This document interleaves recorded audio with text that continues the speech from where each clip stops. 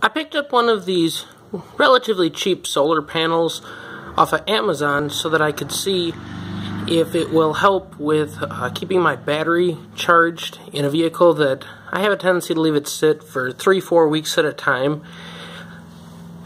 It came with the charging cables that you can just connect directly to a battery and it also came with a cigarette lighter adapter I've heard a lot of reviews on Amazon that the LED people complain will drain the battery down.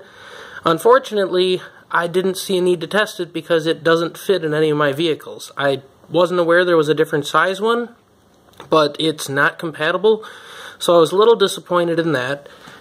Comes with four suction cups that you can stick it to the windshield, and it also has tabs on the back um, that'll let you slip it over a visor.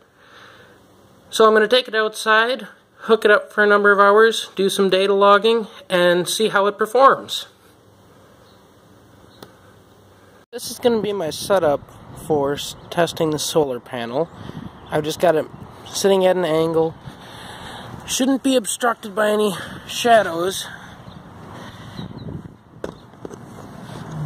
I have my two multimeters here, one that's going to be measuring current and one that's going to be measuring the voltage. Right now, I have it open circuit, and we can see I'm getting almost 21 volts open circuit. I'm going to be running it through 50 ohms of resistance. So when I connect it,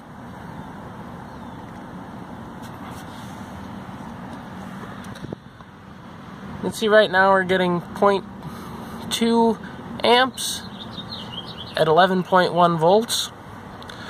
And I'm going to set it to log every minute on each meter for the next five hours. And I'm going to pull the data and see what kind of watt output this panel provides.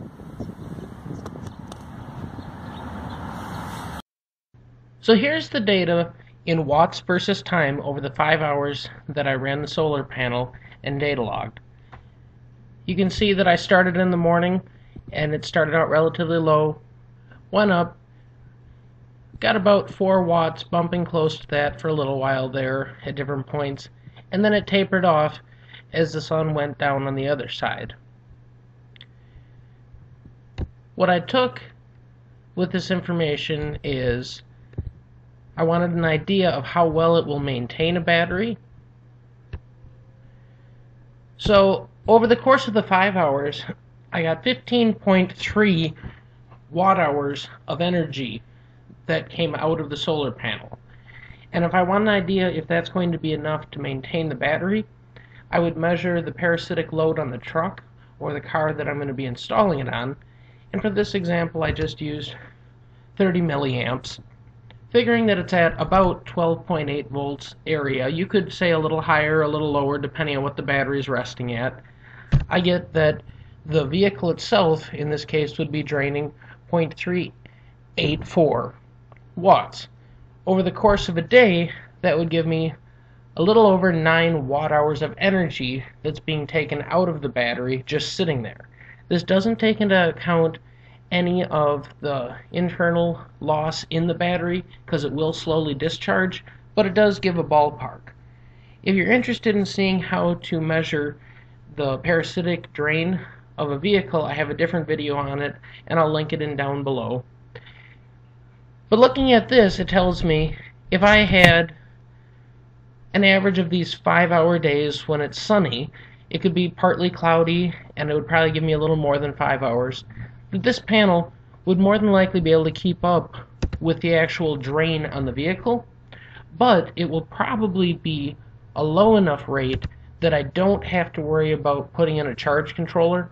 That's the one thing about this panel is that there is no limiting on the current or on the voltage. So if the battery gets fully charged, theoretically it could actually have the voltage go up above that 14 volt area and you could boil over the battery. But the panel's so small, and you can see that as long as it's connected to a vehicle that has some sort of draw, it's more than likely just going to hold it in the same place or slowly discharge if anything, but a lot slower than without the panel.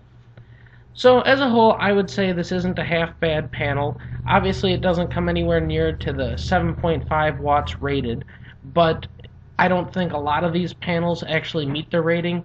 And I also didn't try to focus it directly at the sun um, and get a maximum rating out of it. I was more interested in what it would possibly do in more of a practical application. Hopefully you found this interesting, and if you enjoyed, please like and subscribe, and thanks for watching.